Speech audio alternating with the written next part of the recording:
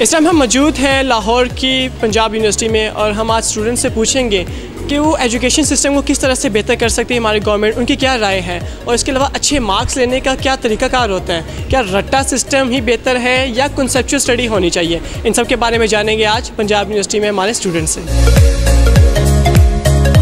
ایک تو ان بچوں کے مارکس زیادہ اچھے آتے ہیں کہ پوزیشن ہولڈر ہمیشہ وہی بچے ہوتے ہیں جو بہت زیادہ لائک ہوتے ہیں محنت کرتے ہیں جن کی بیس اچھی ہوتی ہے جن کے پاس نالج ہوتے ہیں۔ یہاں تو وہ رٹا لگا رہے ہیں یہاں جن کی ٹیچر کے ساتھ فیوریٹزم کی بیس میں نمبر جاتے ہیں۔ جن کی بیس بہت اچھی ہے وہ لوگ یہاں پہ زیادہ اچھے طریقے سے سروائیو کر سکتے ہیں بہ نسبت ان کے جو اردو میڈیم اسکول سے آئے ہوتے ہیں ان کے لیے بہت مشکل ہوتا ہے ایس سی یا اس لیول پہ آ کے اچھے مارکس لینا یا ایک اپنا نام بنانا بہت مشکل ہوتا ہے۔ جہاں تک میرا گورنمنٹ یونیورسٹی کا ایکسپیرینس ہے پرائیویٹ سیکٹر کا تو میں بات نہیں کر سکتا کہ میں گورنمنٹ میں گورنمنٹ میں آپ جتنے مطلب ٹیچر کے قریب ہیں کلوز ہیں یا آپ ٹیچر کے یوں کہہ لیں کہ ٹی سی جسے پنجابی میں کہتے ہیں جتنی زیادہ کریں گے اتنا زیادہ جی پی اے بڑھے گا۔ سم ٹائم ایسے ہوتے ہیں کچھ ہونیسٹلی ان بچوں کے واقعی مارکس اچھے آتے ہیں جو ریئل میں پڑھتے ہیں۔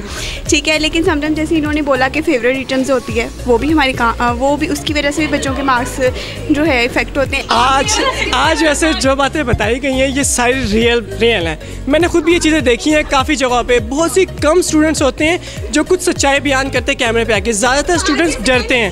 بالکل جیسے کہ آج برتھ ڈے گرل تھی انہوں نے بتایا ان کی آج برتھ ڈے بھی تھی اور انہوں نے سچائی بھی بیان کی اور بہت صحیح سے بتایا انہوں نے۔ کیونکہ پاکستان میں بہت سے ایسے اسٹوڈنٹس ہیں جو یہ چیزیں فیس کر رہے ہیں مگر وہ بتا نہیں پاتے ہیں۔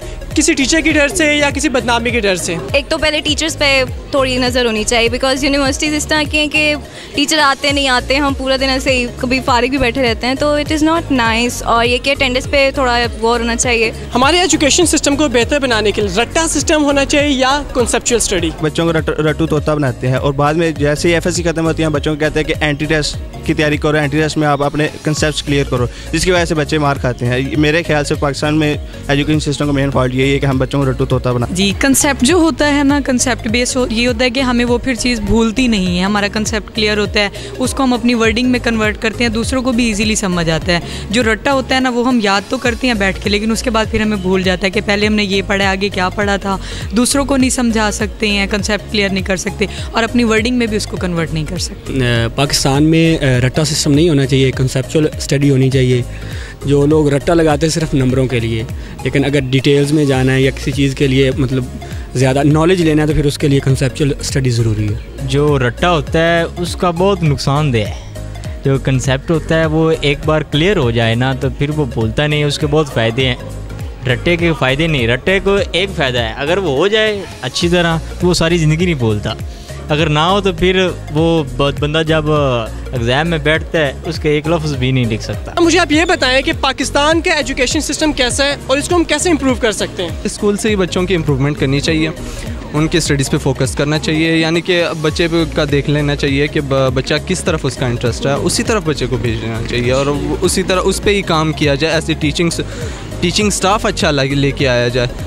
مطلب آپ کا ٹیچنگ سٹاف یہاں پہ لاہور کے حساب سے آپ دیکھیں تو ٹھیک ہے۔ اگر پاکستان کا آپ پورے ایز اے ہول دیکھیں نا آپ کے ریموٹ ایریاز میں آپ کو ایسے ٹیچرز کی میں مثالیں دے سکتا ہوں کہ جن کو اپنا نام لکھنا نہیں آتا لیکن وہ ٹیچرز لگے ہوئے ہیں۔ اگرچہ پاکستان کا ایجوکیشن سسٹم بہتر کرنا ہے تو گرومنگ ہمیں بچپن سے ہی بچوں کی کرنی پڑے گی۔ بچپن سے ہی بچوں کو پتہ ہونا چاہیے کہ انہوں نے کون سی فیلڈ چوز کرنی ہے اور آگے جا کے کیا بننا ہے۔ تو اس کو نیچے سے ٹھیک کرنے کی ضرورت ہے۔ کیونکہ میں ٹاٹ والے اسکول میں بھی پڑھا ہوں، میں انگلش میڈیم اسکول میں بھی پڑھا ہوں اور کالج لیول پہ بھی پڑھا ہوں، اب یونیورسٹی لیول پہ بھی پڑھ رہا ہوں، تو دیر از اے ہیوج ڈفرینس کیونکہ ہمارے ادھر بڑے شہروں میں جو ہے وہ سہولیات اکثر میسر ہوتی ہیں. لیکن جو ہمارے دیہاتی علاقے ہیں یا دوسرے علاقے ہیں جہاں پہ ہماری سکسٹی پرسینٹ یا sixty eight percent of population جہاں پہ رہتی ہے وہاں پہ یہ سہولیات نہیں ہیں. پاکستان کے جتنے بھی یونیورسٹیز ہیں اس میں پہلی جو ضرورت ہے وہ اسٹوڈنٹ یونین کی ہے. جس سے یونیورسٹیز کے اندر جو ہے اسٹوڈنٹس یونین اگر بال ہوں گے تو یونیورسٹیز کے اندر افراتفری لڑائی جھگڑے بھی کم ہوں گے. جی سر مختلف وجوہات ہو سکتے ہیں، کوئی سوسائڈ کرتے زیادہ ٹینشن کی وجہ سے، اکثر پڑھائی زیادہ ہو جائے بندہ اور اس کو اپنے ڈسٹنی مل نہ جائے، جو مطلب وہ اسٹوڈنٹ چاہے کہ میں اکثر اسٹوڈنٹ یہ چاہتے کہ میں ڈاکٹر بنوں، میں انجینئر بنوں، وہ ٹیسٹ دے، اس میں پاس نہ ہو جائے، تو پھر لوگوں کی جو کوشچن پوچھتے کہ آپ نے اتنا اسٹڈی کیے یہ کیا، وہ کیا، تو آپ ناکام ہو گئے، تو اس ناکامی کے بنا پر پھر وہ سوسائڈ کرتے اکثر، یہ آپ بھی ایک وجہ بتا رہے تھے ہمیں، وہ بتائیے، کون سی وجہ جو اسٹوڈنٹ زیادہ سوسائڈ کر رہے ہیں؟ میں تو جو آپ کو اس کے سب سے اہم وجہ بتاؤں گا وہ یہ ہے کہ جب وہ کسی اپنے گول کو اچیو نہیں کر پاتے ہیں، کوئی ٹیسٹ دے دیتے ہیں، کوئی میڈیکل کسی چیز میں ناکام ہو جاتے ہیں، اپنے ٹارگٹ کو پورا نہیں کر پاتے تو ذہنی ڈپریشن کا شکار ہو جاتے ہیں، جس کی وجہ سے وہ جا کے وہ سوسائڈ کا ذریعہ بنتی ہے آج کے ہمارے پروگرام میں جو ہم نے اسٹوڈنٹ سے پوچھا ایجوکیشن سسٹم کو لے کر، تو جو باتیں انہوں نے بتائی ہیں، اس میں یہی باتیں سامنے آئی ہیں زیادہ تر۔ کہ اگر ہم اپنا ایجوکیشن سسٹم بہتر کرنا چاہتے ہیں، تو اس کے لیے ہمیں بچوں کی گرومنگ بچپن سے کرنی ہوگی۔ ہمیں اسکول اور کالج سسٹم بہتر کرنے ہوں گے۔ وہاں پہ ہمیں بچوں کو رٹے کی بجائے کنسپچل اسٹڈی پہ لے کر آنا پڑے گا۔ ہم لوگ کرتے کیا ہے کہ اسکول اور کالج میں بچوں کو کہتے ہیں کہ رٹا لگاؤ، اچھے مارکس لو۔ اور جب وہ یونیورسٹی میں آتے ہیں، تو سڈنلی ہم لوگ کہتے ہیں بھائی کہ آپ کنسپچل اسٹڈی پہ آ جاؤ۔ تو ہمیں بچوں کی گرومنگ بچپن سے کرنی ہوگی تاکہ وہ بچپن سے ہی کنسپچل اسٹڈی کریں۔